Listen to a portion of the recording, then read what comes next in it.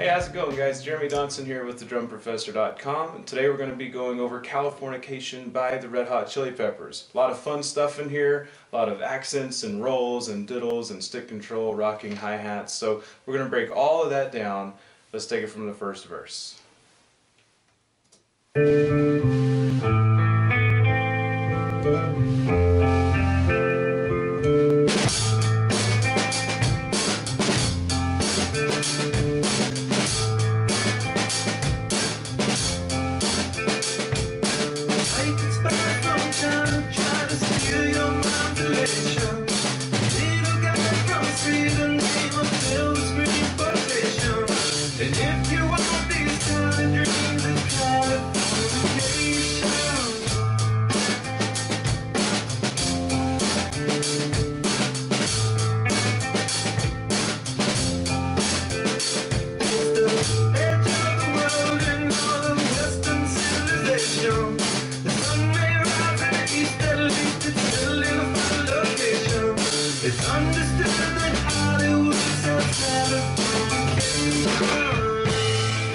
So first step to doing this, let's count the intro and go over how to do the intro. This is called a pickup note because it comes just before the downbeat of one. So in uh, the fourth measure, four, two, three, four, a one, you're going to do a, a roll or a rough on the snare drum. So let's count this and put it in and then I'll show you how to do this. Here we go. One, two,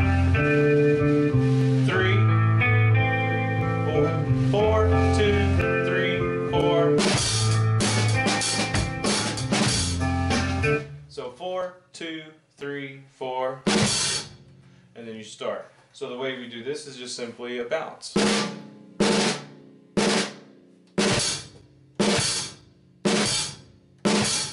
Right?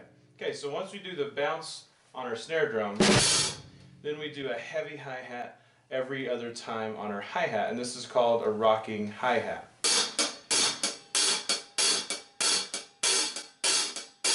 So we're doing shaft, tip, shaft, tip to create that accent sound and it rattles just a little bit when you hit it on the shaft. So it really adds some flavor to it and if you listen to the song you can clearly hear that there is a rocking hi-hat if you listen closely. So once we do the rough, hit the hi-hat with the bass drum, that's your first step. Then another hi-hat here on top. Now, real quick before I continue, if you're not used to a rocking hi-hat, for now then just keep it the same, normal hi-hat, and we'll work on later breaking it down a little bit for you. So if you can do a rocking hi-hat, great. If, if it's something that's difficult for you, just keep it on top and don't worry, we'll work on it later on. Okay, so now once you get to the snare, first of all you accent at the same time, hit the snare, right? Now the first snare is accented, the second one is not. Accent tap is what we're doing.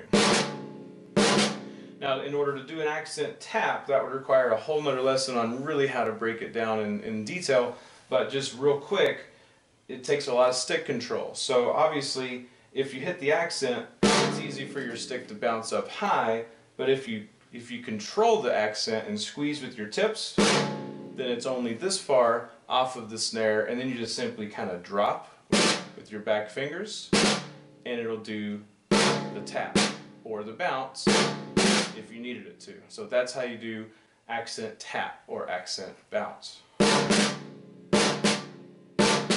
So, so once we get past the accent tap, going to do high snare, high snare.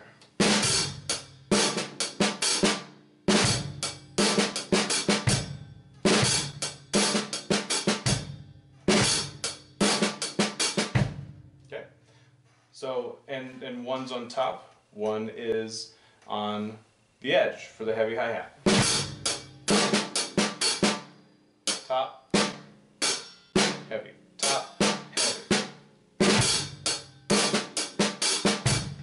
Then the hi-hat and bass hit together. So I'm going to do this really slow.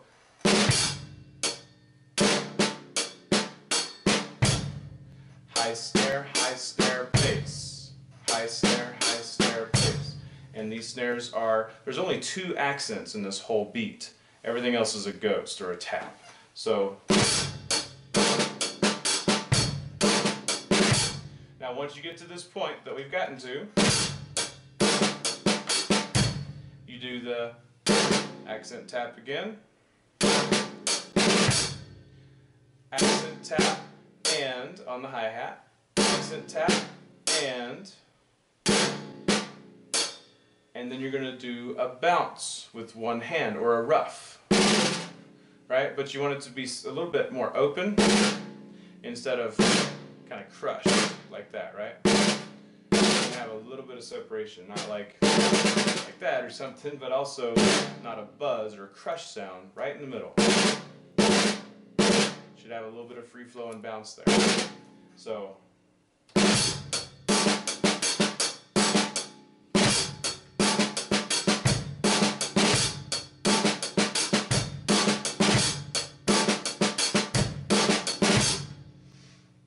That's the main beat of the song. So let's break it down one more time really slow because this is a challenging beat here. So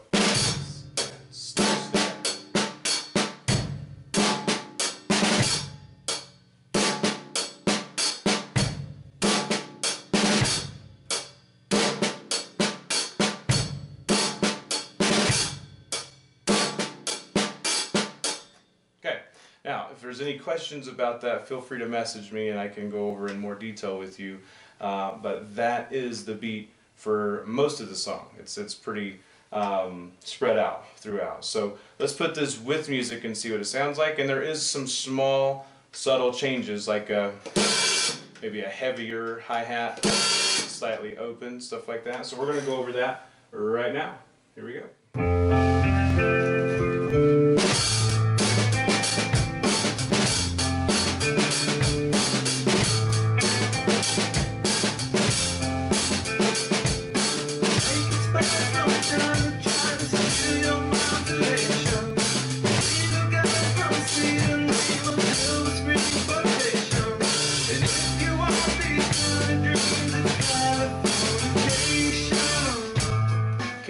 Your, your key word here is dream of silver screen quotations, or you can just count it and know it's in the fourth measure, after the fourth measure. But that's where we do a little higher on the snare, and then close again back to normal. So let's put this with music and then we'll continue.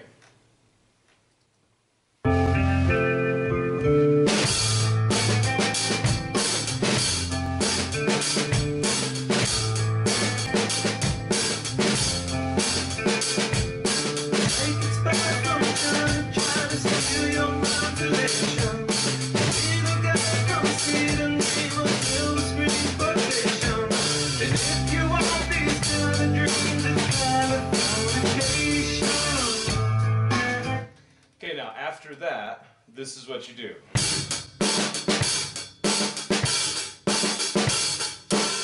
Now, just so you know, I if I if I do it this way and it's confusing, sorry about that. I'm left-handed. So if it is, do me a favor, comment on the comment box below. Let me know, and I'll do more right-handed. But uh, I'll try to switch around for you. Okay. All right. Here we go. So what you're to do is after we go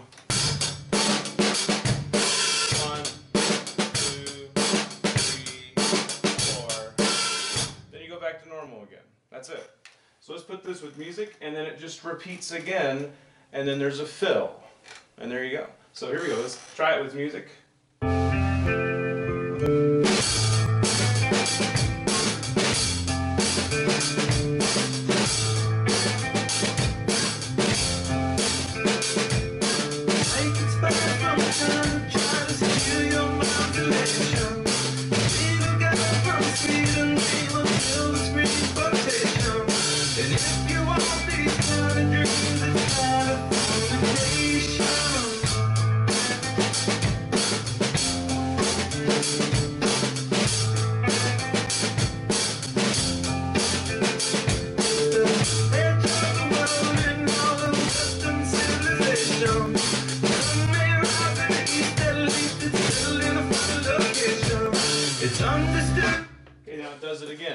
Right there. Location, fourth measure, you drag again. Or not even a drag, it's more of a mixture between a drag and heavy hi-hat, but it's just heavier than normal. So, right, and it's on location, fourth measure again. Okay, that final fill.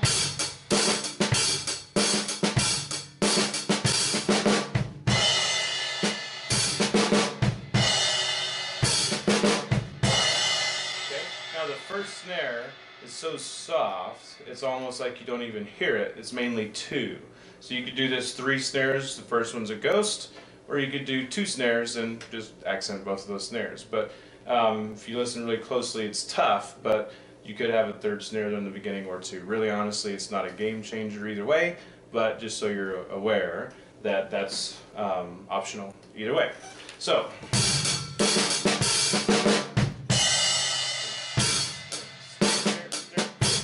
hit the bass, the fill starts. Or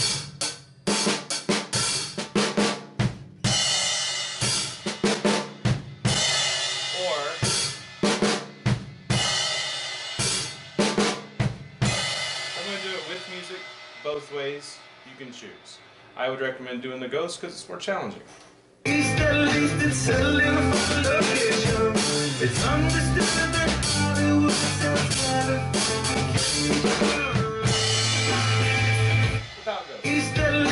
That Hollywood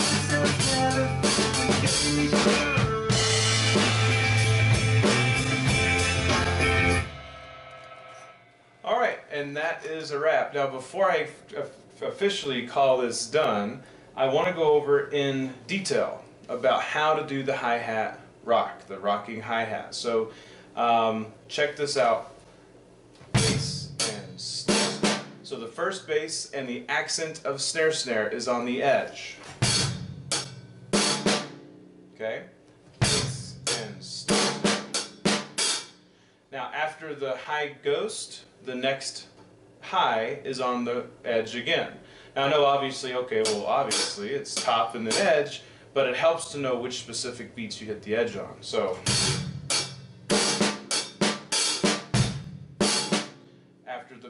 bass, is on top, then accent tap, the accent's on the edge. So accent or edge. Edge, edge, edge, Then it starts over. So one more time. Edge.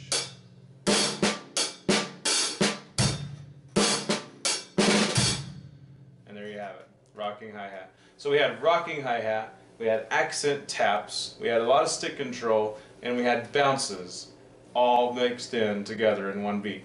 Very cool. That's why Chad Smith is awesome. So any questions that you have here, feel free to let me know. I'd be happy to help you. And in case you didn't know, I'm currently offering a free jam session with me. One-on-one, -on -one, just us, similar to Skype, but a way better software.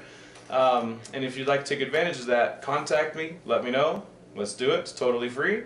And if you like it, then we go from there and see what level you're at and how to get you to the next level in one month. Thanks, guys. Hope you enjoyed it.